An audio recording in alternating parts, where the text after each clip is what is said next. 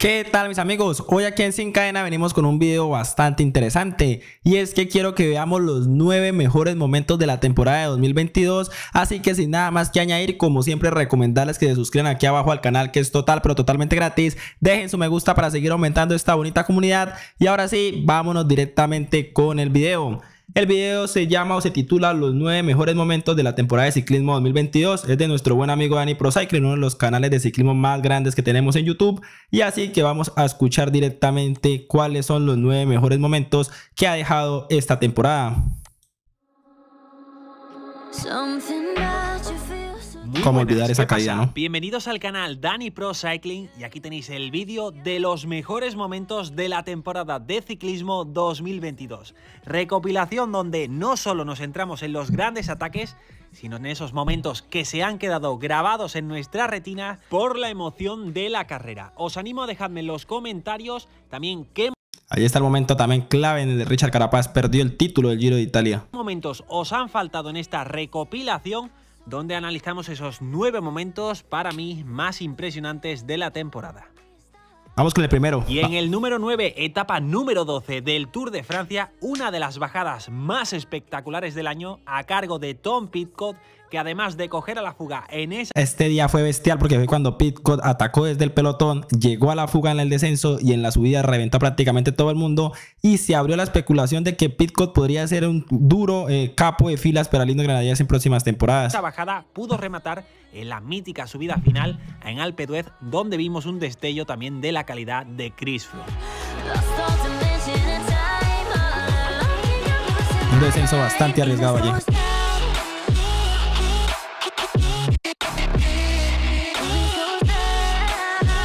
Este momento allí fue pero extraordinario. Vamos a ver un poquito allí. Era una locura lo que estaba haciendo Pitcock en esta etapa. Es que ese descenso era totalmente bestial. Miren el eje de la bicicleta, como lo coge Pitcock, la curva muy, muy, pero muy agachado. La diferencia del hombre del arquea, que va un poco más tranquilo y no arriesga tanto como lo hace el británico. Impresionante.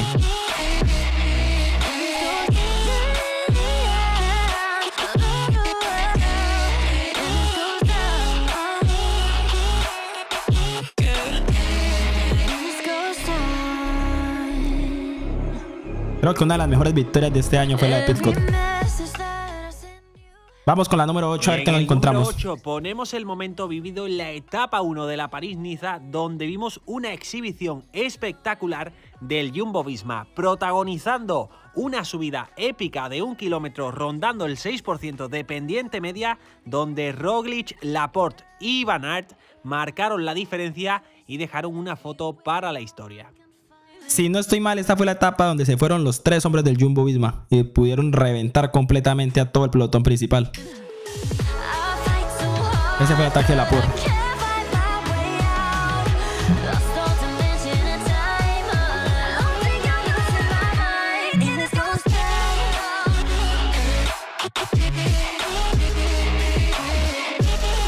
Impresionante lo que estaban haciendo allí Van y Primo Roglic, igual que la padre.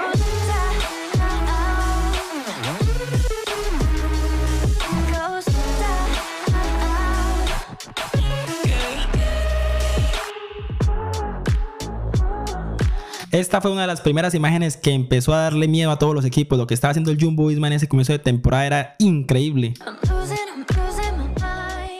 Y en Vamos con el número 7 recordamos el momento del Mundial 2022 en Australia. Y ¿Cómo olvidar a Renko? Que atacaba a 70 kilómetros del final, se metía en un corte y volvía a arrancar a falta de dos vueltas para el circuito final para ganar su primer mundial con una diferencia de más de dos minutos respecto al pelotón, haciendo todo el final en solitario. ¿Cómo olvidar al belga Renko Nepul en esa temporada, ¿no? después de esta grandiosa vuelta a España? Y también ahora con este mundial que se, que se implantó allí, impresionante las piernas del belga.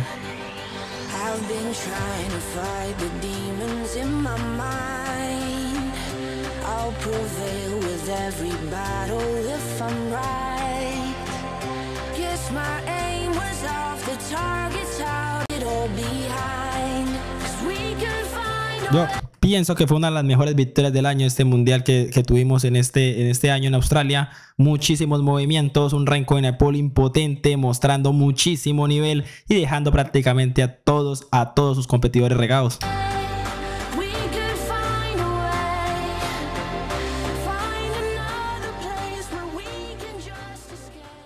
En el número 6 volvemos al Tour de Francia, etapa 18 y la casi caída de Vingegaard, que podría haber cambiado el rumbo de la historia y esa parte final conectando con Wout van Aert y haciendo declinar definitivamente a Tadej Pogacar.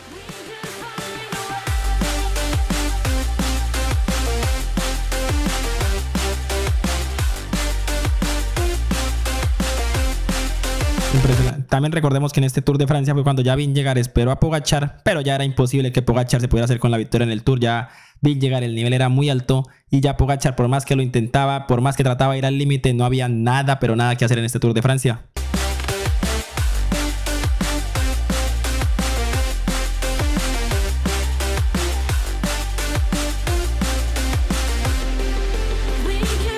Una de las pocas veces que hemos visto a Pogachar sufriendo fue este día en el Tour de Francia. Casi nunca hemos visto a un Pogachar sufriendo mucho y no pudiendo seguir la rueda de sus rivales.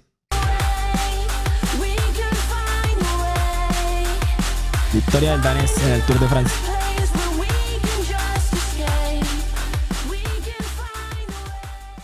Vamos con la quinto lugar nos vamos al Giro de Italia. Llegó la del ecuatoriano, el momento clave del ecuatoriano del 2022, pues un mal momento, pero fue, yo me imagino para mí, para todos ustedes, el momento clave de la temporada de Richard Carapaz, cuando pensamos que todo estaba ganado, vamos a ver qué fue lo que sucedió. Etapa número 20, con final en la marmolada y solo 3 segundos de ventaja entre Carapaz y Hindley. Llegando a esa parte final, soltaba varios ataques Hindley y cuando se encontraba con su compañero Kamna, destrozaba el Giro de Italia y al que era líder hasta entonces Richard Carapaz. Momento clave del corredor ecuatoriano. No haber podido seguir ese ritmo allí de, de Hitley fue crucial para todos nosotros. Recordemos que ya era la última etapa de montaña, era el momento clave de ver a Richard Carapaz. Pensábamos que se podía hacer con este giro y se le terminó escapando con el hombre del Bora Hasgroen.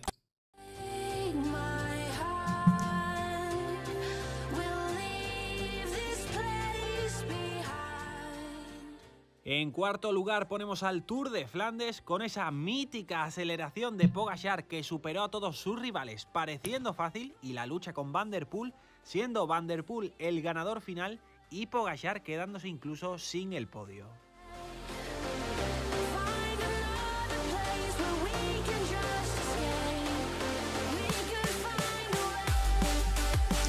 Uno de los mejores momentos de Pogachar. Para mí uno de los mejores momentos en este nivel era muy alto.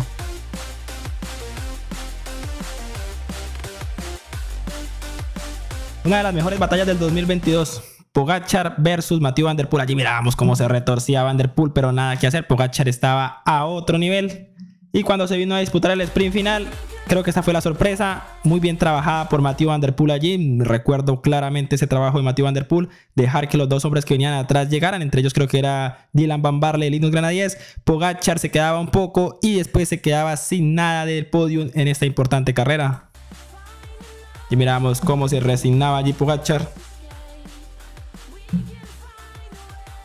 Pero fue un trabajo espectacular de Vanderpool. Muy bien trabajada esa victoria de este corredor neerlandés. Etapa número 4 del Tour de Francia, donde el Jumbo Visma quiso reeditar lo que pasó en la París-Niza, pero esta vez Wout van Aert no encontró rival, soltó a todos en el muro final e hizo 10 kilómetros en solitario espectaculares. Otro momento clave de esta temporada.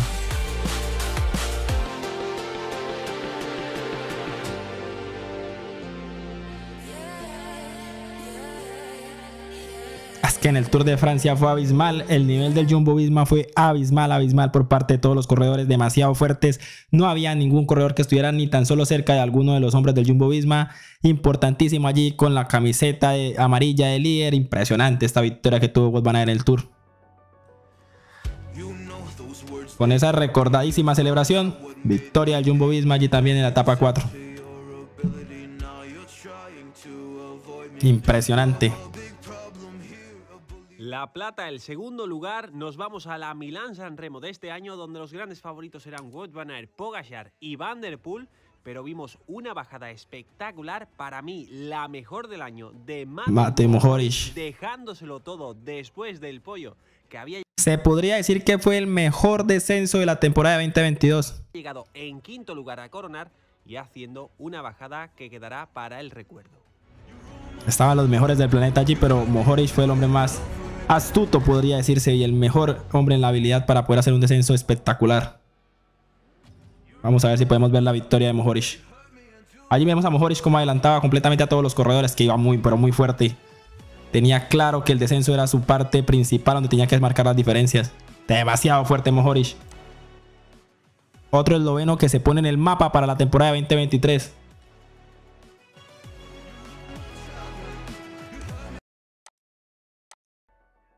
Impresionante victoria James Horsch. Vamos con el mejor momento del 2022 a ver qué sucede. Vamos a ver a quién dejan allí Dani Pro Cycling. sin duda ninguna ponemos a la etapa 11 del Tour de Francia exhibición estratégica del Jumbo Visma con un gran Vingegaard y un Roglic mermado, aunque no lo sabíamos en ese momento, que hicieron caer en la trampa a Pogachar firmando el principio del fin del Tour de Francia. Prácticamente cuando rompieron por completo a Pogachar que atacó Roglic, atacaba llegar y pues todos creíamos en ese momento que Roglic estaba bastante fuerte y pues después nos enteramos de que Roglic no estaba para nada en su nivel y allí pues llegar tomó ventaja el mismo Pogacar.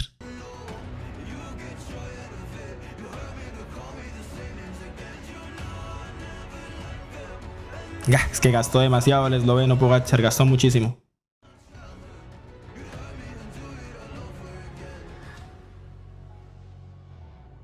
¿Cómo olvidarnos aquella etapa que sufrió muchísimo Pogachar?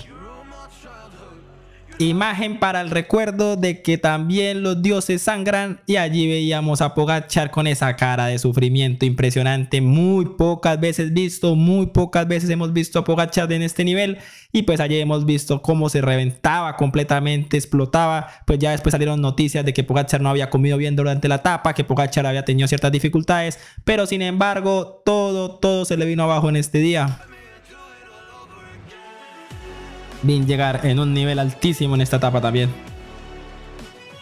Impresionante, impresionante.